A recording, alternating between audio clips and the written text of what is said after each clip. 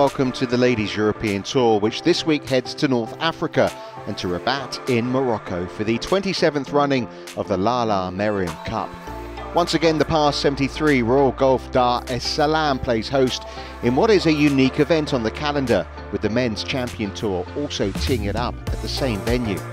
The women are on the blue course, a Robert Trent Jones designed, with tree-lined fairways there to catch out any wayward shots. No doubt her local eyes were on history maker Ines Laklalech. The Moroccan became the first ever female Arabic winner on a major tour. Pauline Roussin, one of those out to stop her, the French woman, a former world amateur number one after her third LET title. Maria Fassi flew over from last week's event in Saudi. The Mexican spends most of her time on the LPGA Tour and is yet to live up to her promise. Can the big hitter deliver in Morocco? But with 35 tour winners in the draw, including Diksha Dagar and previous winner here, Klara Davidson Spilkova, it will be a hard call to see who could get their hands on the trophy. The wind remained low on day one, and with temperatures in their low 20s, there were some good scores to be had. Diksha Dagar, though, got off to an up and down start. Plenty of good golf, nailing a birdie here at the eighth, but mixed in with plenty of mistakes. In the end, six birdies, two bogeys, and a double bogey left her two under par on the par 73. That's the same score as Pauline Roussin, a lovely touch here at the same hole to set up a birdie of her own, but like Dagar, three bogeys damaged the scorecard. 23-year-old teeing it up in Morocco for the first time just short of a year since that wonderful win in Singapore. In contrast, Marta Martin was in the country in December, regaining her card at Q School. The Spaniard clearly enjoys the Moroccan greens. She briefly held the lead at 4 under, but a bogey at the last put her back in the clubhouse with a round of 70 and in fourth spot. Fellow Spaniard Teresa Toscano is another who earned her playing rights at Tour School, and she ended the day alone in third. Six birdies and two bogeys, she was four under. To the delight of the home fans, Ines Laklalech put down a day one marker in front of friends and family. Out in 34 and back in 34, she was peppering the flags and even drawing applause from her playing partners. It wasn't just her irons that were shining, the flat stick also working well. Laklalech says it would be a dream to win a home event, with an opening day 68 a very decent start and more than deserving of the low high five. The Moroccan was playing with Maria Fassi. The Mexican, an invite, showed that her game is not all about power. This a great recovery from under the trees at the fifth, using the contours of the green to perfection. The 25-year-old was simply unstoppable. Without a bogey on the card all day, she fired eight unanswered birdies. This would set up the last of those at the eighth, one of five on what was her back nine. She would close eight under and open up a three-shot lead. The Mexican, one of just two players to put together a bogey-free round. After starting work with a new coach in the off-season, Fassi credits her success to a new approach to the game.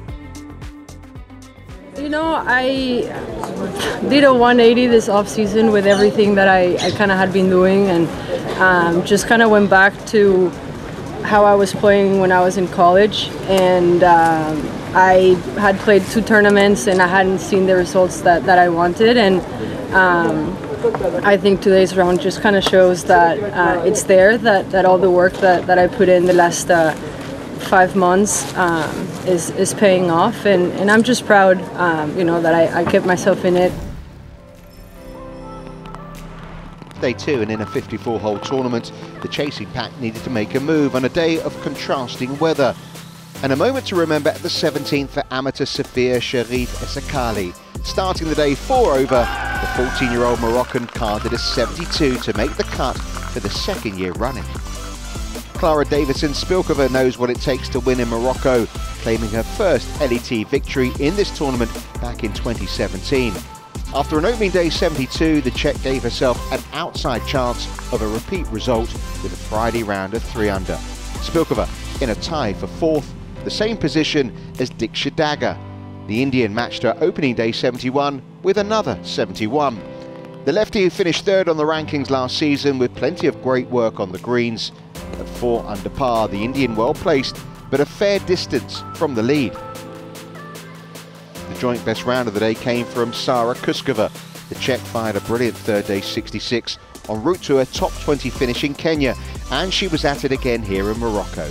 A 67 to shoot Kouskova up the leaderboard, another sharing fourth at four under.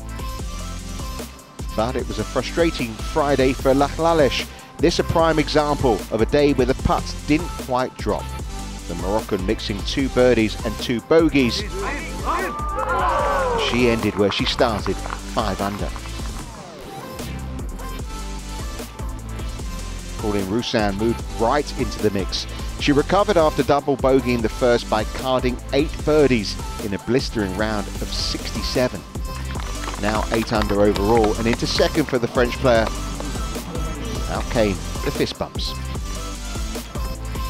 But out ahead remained Maria Fassi. Like Roussin, she picked up an early double bogey but recovered in style. Fassi was in a share of the lead in Dubai in 2021, heading into the final day before missing out. And a birdie at the last put the Mexican four clear, very much in the driving seat for a first win on a major tour. A big lead then heading into the final round for Fassi, but a closest challenger looking to win on tour for the third successive year. So Roussin knows what it takes. I'm giving myself a little bit of time to just be able to see where my game is at, especially after such a long off season because I didn't play for six weeks. I need to take some time off golf before I started hating it.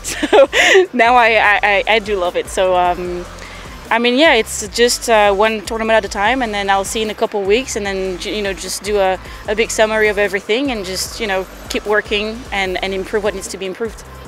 I haven't been in this position in, in a very long time, um, so I'm very happy uh, to, to be to be here. You know, I I kept walking past the leaderboards and, and seeing my name at the top. Uh, you know, I kept joking with my caddy. I'm like, you know, I, I could get used to this. I like it. Uh, so yeah, I mean, I, I definitely think it, it, adds a little bit of pressure, but but like I said, I mean, I've I've been working so hard uh, that just to see to see you know two very good rounds uh, put together and uh, a lot of birdies and just playing very smart and, and having a lot of fun and enjoying uh, even this morning that it might have not been as enjoyable. But uh, yeah, just overall extremely happy with, with where I'm at and um, very excited for tomorrow. Stay with us to see if Fassi could close it out for her first win on tour, or if Roussin or anyone else could reel her in. We'll see you after the break.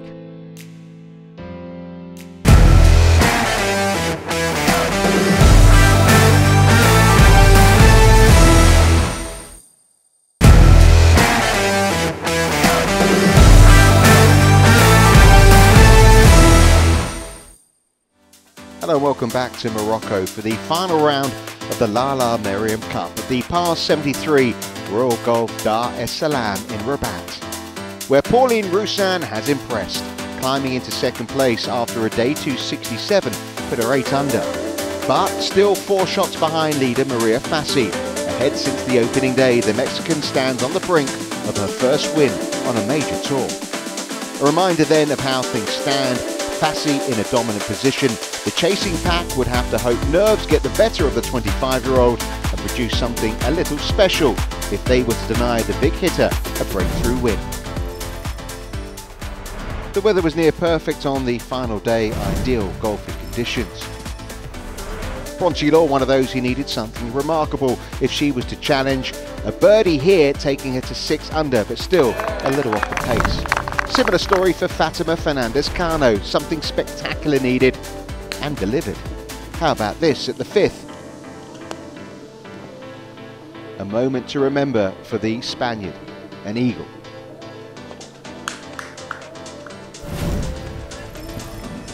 Pauline Roussin was making up some ground, a birdie and a bogey from the French woman early on, but this third at the fifth set up a near tapping birdie. She would move 100 for the day but playing partner Maria Fassi was keeping her nose ahead. A bogey at the second, she moved back level for the day at the same hole. Her lead down from four shots to three.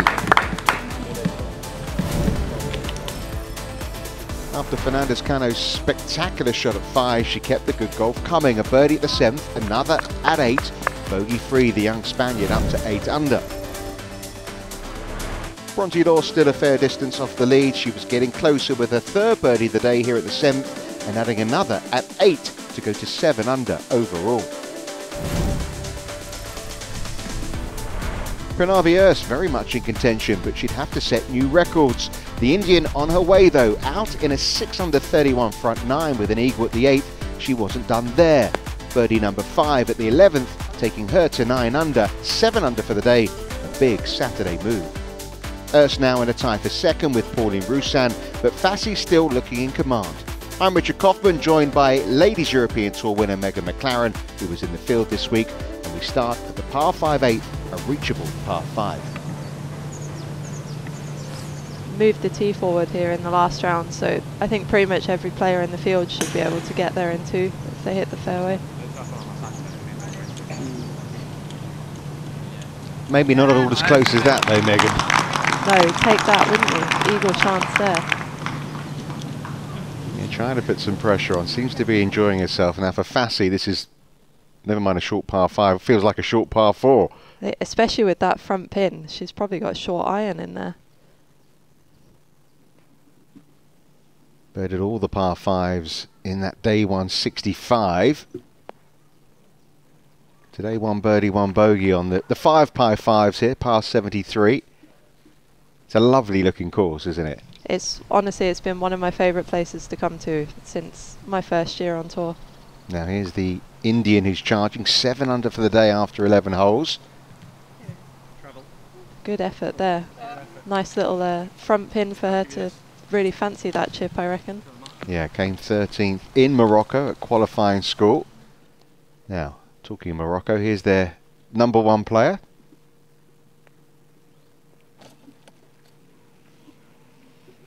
Yeah, playing nicely. Just the one birdie so far for Lach It should be a bit disappointed with that chip there, but still a chance. Now he's one of your former Curtis Cup winning teammates, Bronte Law at nine. Yeah, it's good to see her challenging up near the top of the leaderboards again. She's obviously been through some tough times recently. Yeah, that's a pretty nice touch. Hopefully knock that in, go out in three under. Her only birdie so far, like Lalish, was a, a two-putt birdie at the second.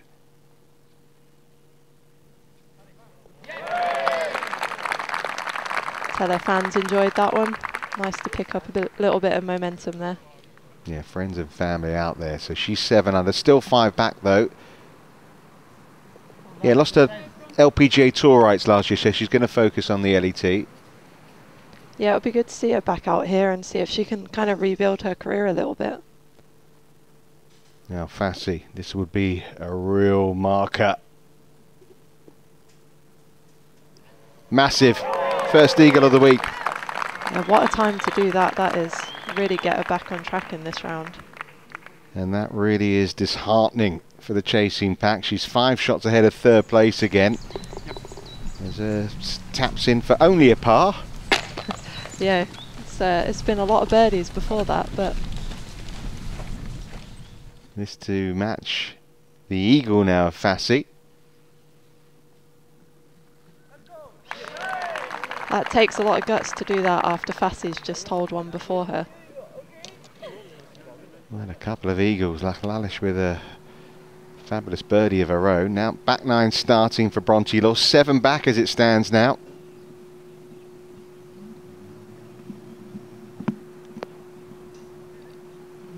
That's not an easy pin position there, but you can see Bronte's really dialed in today.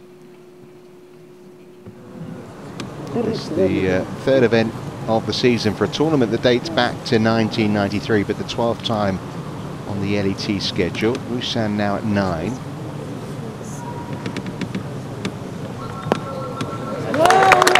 Making that pin position look easy as well. It doesn't take missing by much to be in the water front left there. Fassi in a good position. She's lucky really she's got a swing at this. Is there a way through?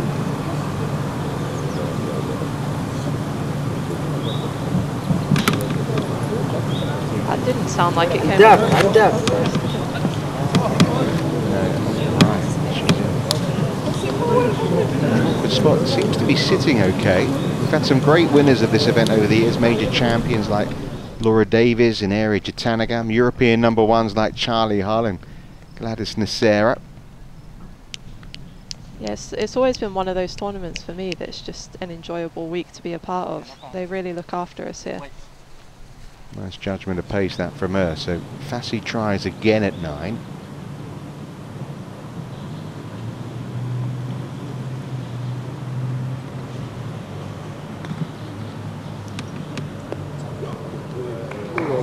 That's really good touch there because there's a lot of and hollows on that green, so to give herself a chance to is really important.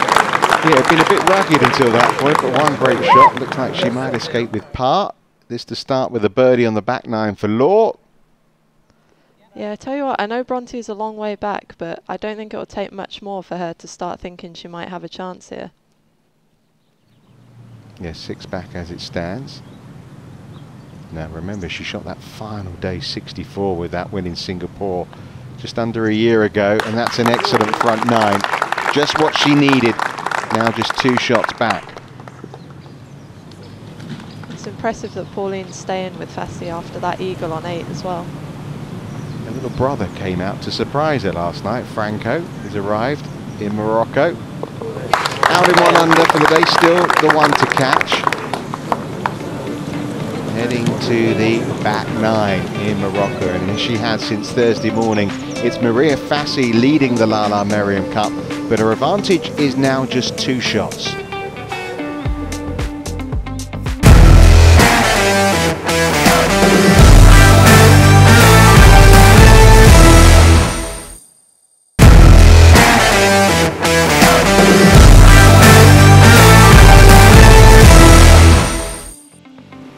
Welcome back to Morocco and the final round of the Lalla Meryem Cup at Royal Golf Dar Es Salam.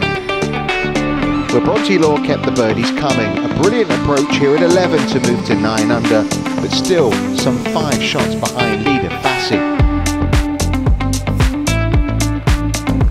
Law now in a share of third place with Fatima Fernandez Cano and Pranavi Urs. Fassi led by 4 overnight, that's now down to 2 over Pauline Roussin. In the trees off the tee at this par 5 so third shot now for Fassi Making hard work of the par 5 there. it's a better position to be in in two Yeah, should just be a little pitch in here for Pauline.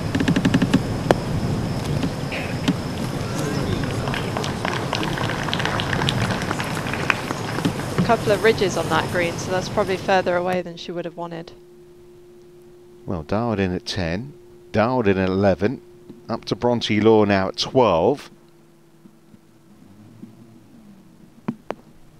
I take it you've seen her in this kind of mood before So I've seen this version of Bronte a number of times over the years, and one thing you'll say for her is she will not back off when she's feeling it. Well, she birdied this hole the first two days, Fassi, but now playing her fourth here at this par five.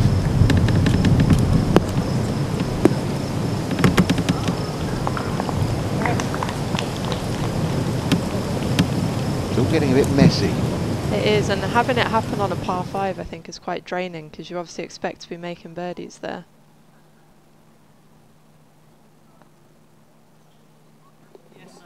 Four birdies in five holes. Well, she won't be aware Fassi's in a bit of trouble, but maybe a chance now for Bronte Law.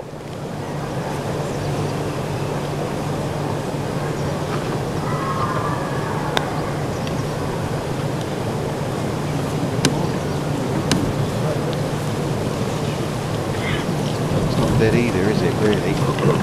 Just a little too firm with that one. Now, Pranavi Urs. You played with her, haven't you, Meghan? Yeah, I played with her when she was still an amateur, I think, in India, um, and you could tell she's a very confident player, and I don't think will be afraid of being up there near the top of the leaderboard. Fassi has been at the very top all week. Struggling with this par five.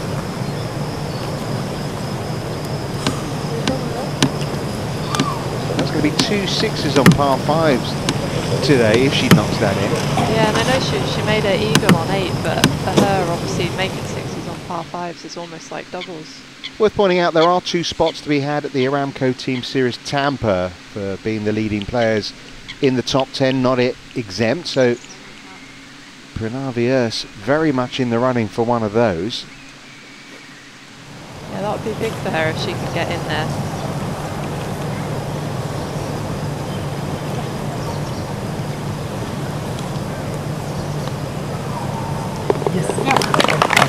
Well, some more inroads into that Fassi lead. Then she lost all her spark after that win in Singapore and her brain was fried at the end of the year. But the club's down for six weeks. That's what you need sometimes.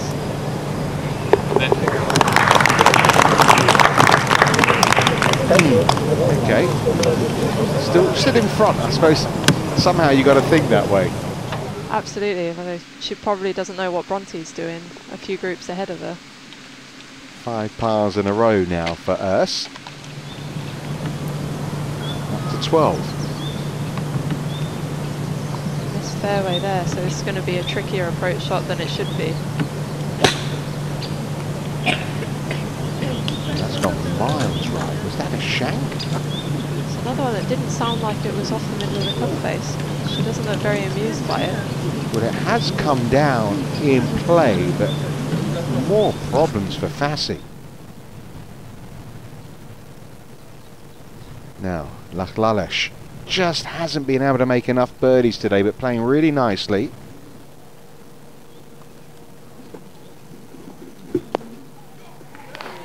She's another player that's good to see doing well here because she's obviously had, had a bit of a tough time over in the States over the last year since she won.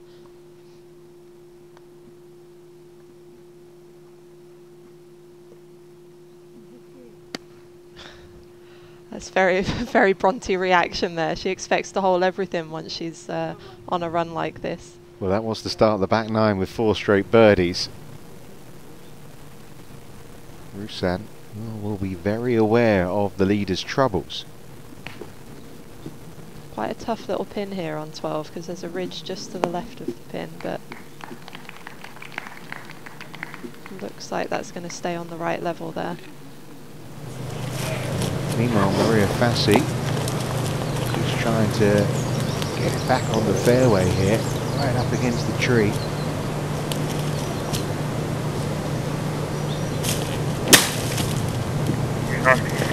But it's out. Not on the fairway, but it's out at least. She's there in three. I mean, this is a real wobble now. Yeah, she's definitely rattled by everything that's going on. Now here's uh, a winner on the Epson Tour in 2022, like a certain Meghan MacLaren, Fatima Fernandez-Cano. Yeah, that was a great year she had out on the Epson Tour that year. She really looked very dominant, like she was going to go on to big things. Yeah, just come back from surgery on her arm just a couple of months before Q School, clicking the fingers, a little heavy handy handed from Urs. Look at it go.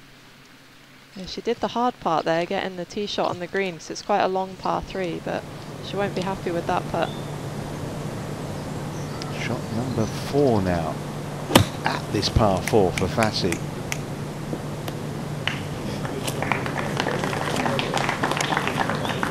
I think it's always tough when you're in a situation like that, when you're leading and things start to unravel, because you just feel like you don't have any control anymore. That's a pity. First bogey of the day for Pranavi Urs. She'll slip back to 8 under.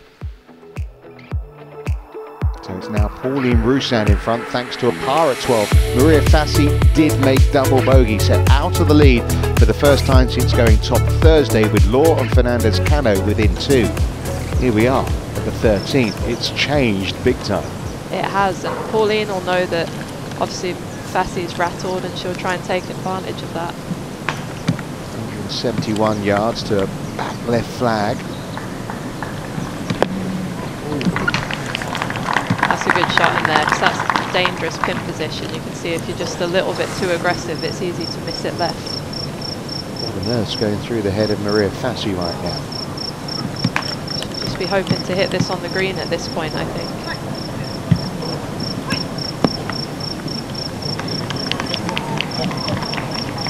Not the best place to miss. That's tough up and down from there.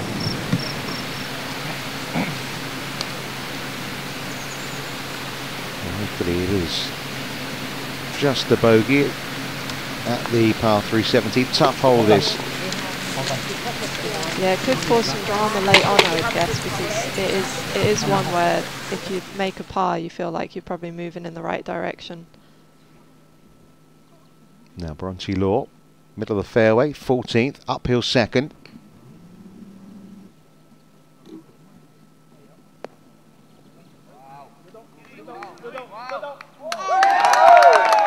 That is one of the most Bronte things that I've seen. I think she's uh, doesn't shy away from the spotlight, that's for sure. And that could really take her to the front of this tournament. Well, she is now tied for the lead. Remember, she was seven shots adrift heading into the back nine. Now joint leader, 93 yards with a 54 degree wedge. Incredible. Meanwhile, Fassi. Oh, that's more like it. It is, but the difference in how these two rounds are going for Fassi and Laura is really quite extreme. You know who you'd want to be playing the last few holes. Well, Fernandez Cano's just birdied 14 and 15. She's suddenly just one back.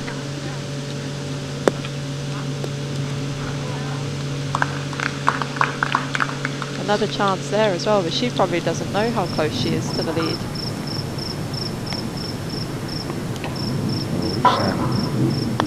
We've heard those cheers in the adjacent fairway. Not to be. So she is now tied at the top with surprisingly Bronte Law. It's amazing how quickly things can change in the final round. Just short in two at the par five. Another wedge in for Bronte Law.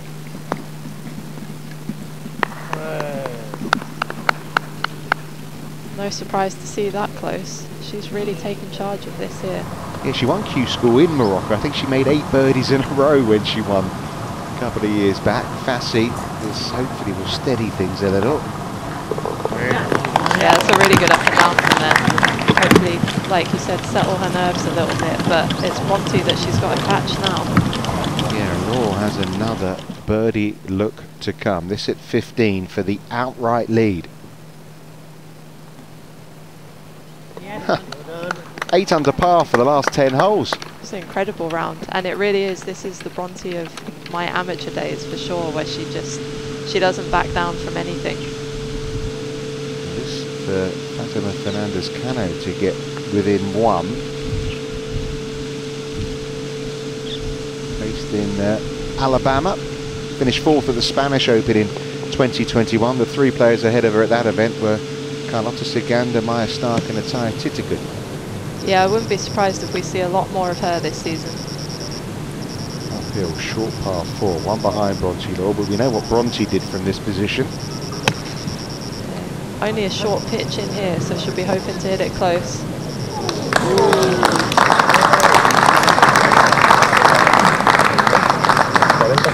average next to Bronte's, doesn't it?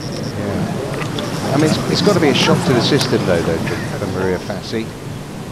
It is, like I said, when you're in that position and you're leading and things have been going so well for two days, you don't expect it to unravel, and that's what makes it hard to handle. Power's got a pretty close in at this short par four, so it'll be an ideal time to make a birdie. And Bronte Law has missed the fairway here at 16. She's quite lucky to end up with a shot there, because that could have gone anywhere if she's hit it left off the tee. It's found the bunker. So birdie chances to come at 14.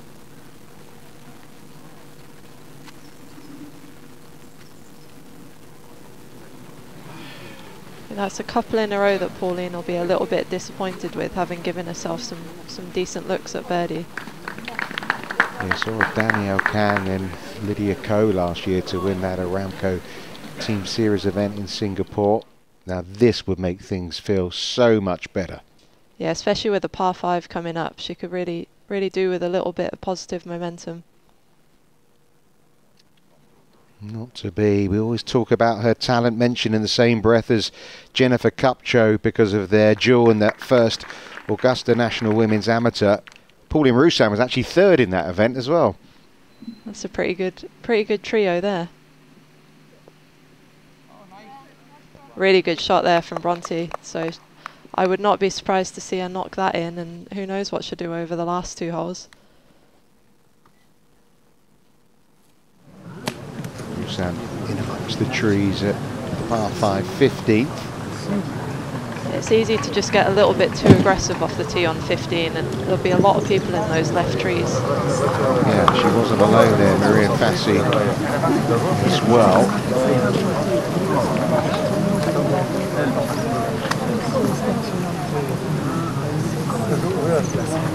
Story of the back nine, hasn't it, really? It doesn't look like she got herself too far forward there either, so it's another par 5 that she's making hard work. To the leader. Oh, that's a pity. A second bogey of this extraordinary round. Back to 12 under, alongside Roussin in the lead. And remember, Fatima Fernandez Cano now only one back. It shows there are some tricky holes coming in, so even if you've been making a lot of birdies, there's a couple that could test you. Third shot now. Fassi did manage to find the fairway.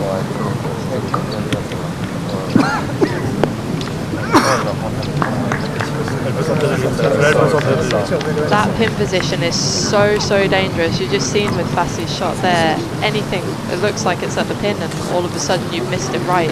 That is not easy from there. Yeah, that's a no-go zone, really. Sam, try and knock this one if you can, just left of the flag.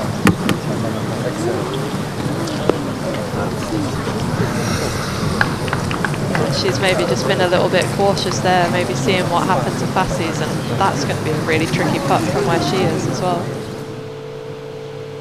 There's Cano then, just one back. This is the tough par 3 17th.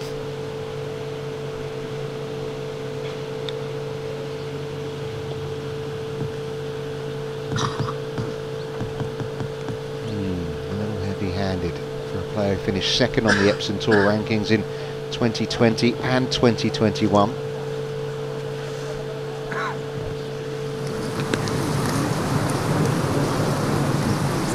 There's a lot of options with this shot. I'd be interested to see what, what Fassi chooses to do here, but it's almost like you've got to play it as a long putt. Oh no, oh no, no, no, that's coming back to her feet. Oh, it's unraveling big time for the Mexican. Such a long-time leader of this event. Can't believe it. I think she's just trying to gather herself a little bit. She doesn't quite know how to stop what's going on. So fifth shot now on this par five.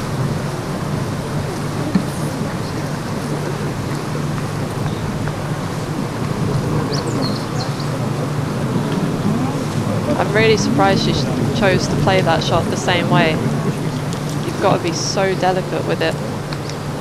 Somehow Pauline Roussin has to ignore everything that's going on around her and try and focus on the job at hand.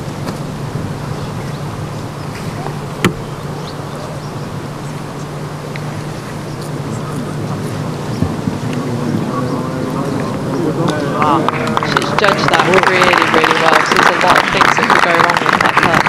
And like you said, with Fassi a bit all over the place, it's difficult for Pauline to keep her focus. She remember she is tied for the lead again after uh, Bronte Law's drop shot at 16. Fassi tries again. Thank goodness for that. Still, that's going to be a double then, is it? Which, Yeah. I mean, the shots that she's dropped on par fives today alone, that's the last thing you would have expected from this round. Second double bogey in four holes, leading by four at the start of the day. Now she is three shots behind and it's slipping through her fingers. Cano to stay within one.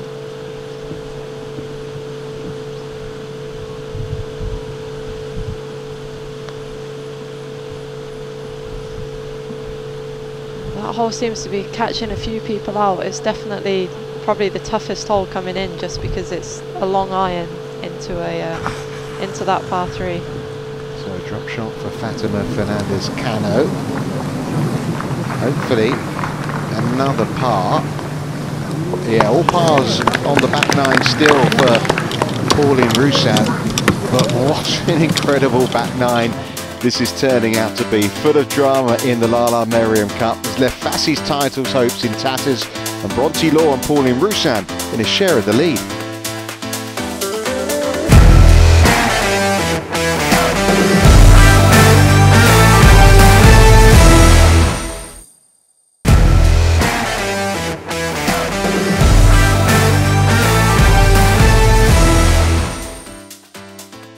Welcome back to the closing stages of the Lalla Meryem Cup in Morocco, where it's been a dramatic back nine that's left Pauline Roussin and Bronte Law tied at the top.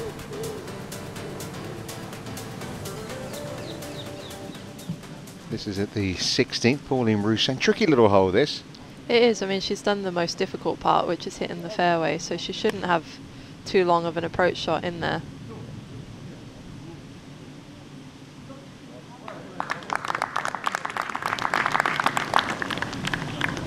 this is the hole which Bronte Law bogeyed.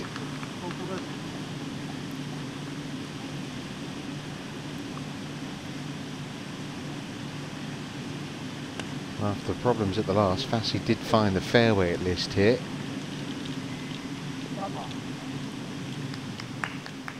Well, polite applause, but the body language said a lot. Now off to this 17th, 188 yards up the hill.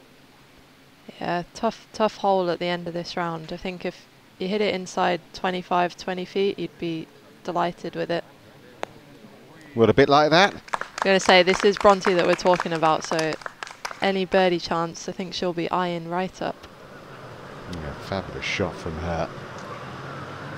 Now found the fairway bunker off the tee, Fatima Fernandez Cano, so had to to lay up with her second, so third in now for the Spaniard.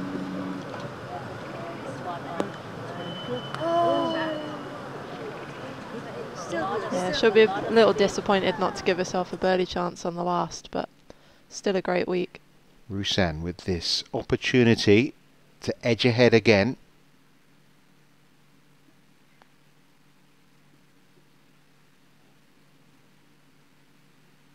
Yeah, par on 16 isn't bad, but obviously the position she's in, she wants to be the one to take the initiative.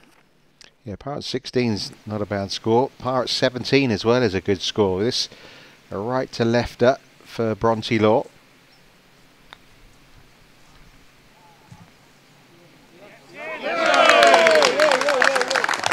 Oh, what a two that is. It's just the fourth birdie at this hole all day. And it would be Bronte that makes it. Like we said, she she loves the loves the spotlight and loves to be the one to take the stage in a situation like this.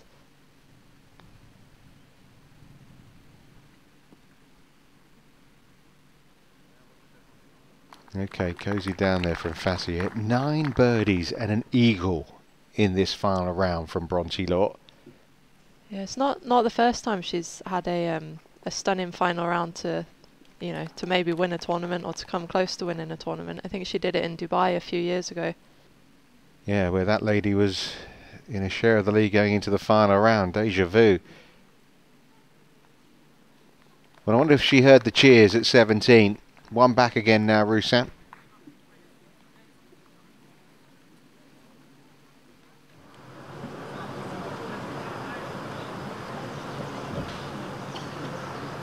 This to match the 67 of Pranavi Urs.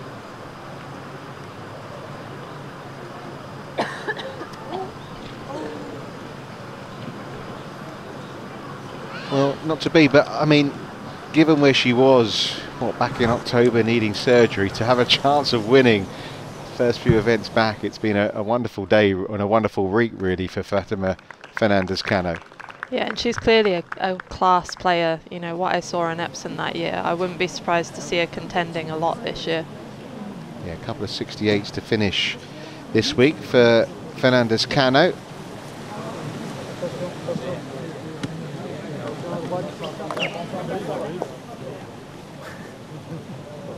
More trouble for Fassi. Just emphasises again how good that birdie was from Bronte on that hole. That's her brother, Franco. He's a, he's a DJ, younger brother. came out surprised. It hasn't quite turned into the day he was probably hoping for. Here's the main challenger now to Bronte Law.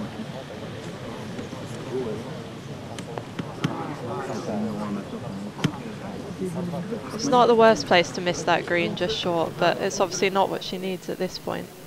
Terrific tee shot from Bronte Law. 158 yards left down the hill.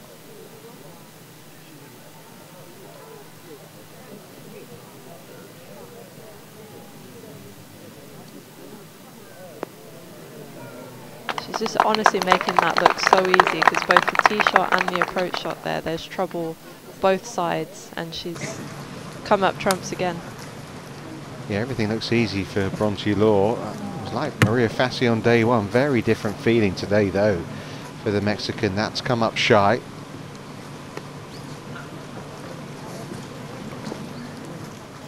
Well, if this was to go in, you could all but guarantee the win. That was for a 10 under 63. Like I said, she's she's just not one to back off, and I think once she gets victory in her sights, she knows that she's capable of getting it done. Looks like she's taking the uh, putter out here.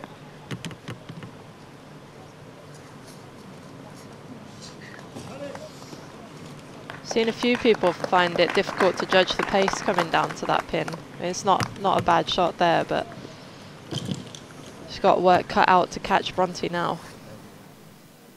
Well, this to put the final pieces of a scintillating round of golf. What a performance. That's utter brilliance from Bronte.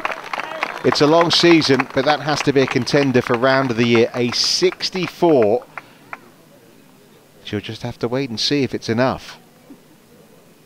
There's some people who just have that competitiveness that mean when they're in that situation, they, you know, that's where they want to be, and Bronte's one of them.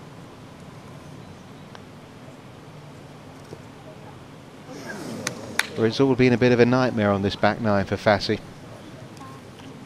Yeah, it'll be a tough day for her to take, but hopefully, you know, it's a bit of a cliche, but she'll learn from it, and obviously putting herself in that position getting closer to getting that first win.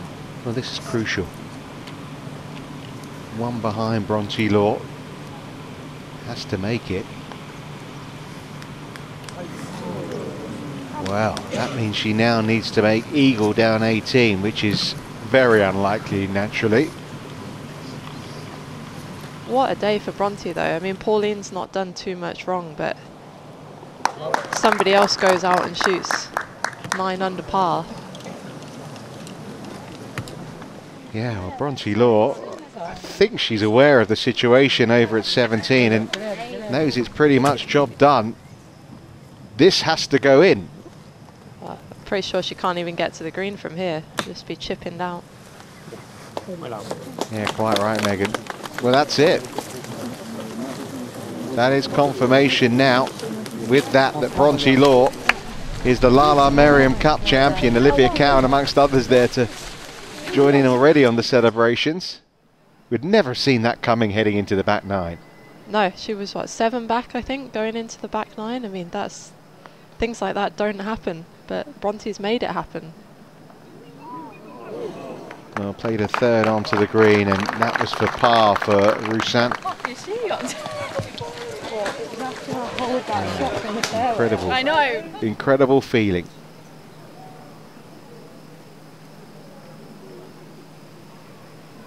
for a closing birdie for Maria Fassi. Wouldn't you know it, eh? Golf messes with your head, that's for sure. At least she has something positive to take from the day there. Yeah, first birdie of the back nine, but back in 41 for a last day 76. Tied third at nine under par for Maria Fassi. And it'll be a bogey-bogey finish for a 71 for Pauline Roussin, but it doesn't change her finishing in outright second. But after all those frustrations in 2023, how good must this feel? Yeah, yeah there's, there's not much better as a golfer to, to go through the hard times and then to get back on top again. It, it feels an awful lot sweeter when you've been through the through the difficult times. Well, a three-shot victory in the end for Bronte Law. Her 64, the best round of the week. A bogey-free 70 from Sara Kouskova left her alone in sixth. Laklalech tied for seventh in the end. Annabelle Fuller and Teresa Toscano amongst the rookies in the top 20. That also includes the 2017 champion, Klara Davidson-Spilkova. A brilliant third LET trophy for Bronte Law, the Lalla Meryem Cup champion. Um, it's funny, the last time I was in Mor Morocco, I, I won Q School, and you know, now being back again, I think now it might be my favourite place to come. I talked to my caddy Gary and saying, you know, all it takes is one hole out an eagle, and you know, you get th those two extra, you know, shots up the field. It puts the pressure on the leaders, and you know, a couple of holes later, I find myself doing that. So, you know, maybe something was in the air. Shannon Tan ended in 37th here in Morocco. She just about hangs on to top spot in the order of merit above a charging law. A bit more of a commanding lead in the Rookie of the Year race though, more than twice the amount of points as second placed Natalia Guseva. Two Americans and a European round out the top three of the Rolex World Rankings. It'll be an intriguing Solheim Cup in Gainesville, Virginia in September. Bronte Law perhaps back in the mix after her win here. Well, thanks for watching as Bronte Law produced a final day performance that will live long in the memory. The Englishwoman with the round of her life. Next up, we head to Tampa in Florida for the Aramco Team Series. As ever, keep in touch with all the action at ladieseuropeantour.com. Until then, bye-bye for now.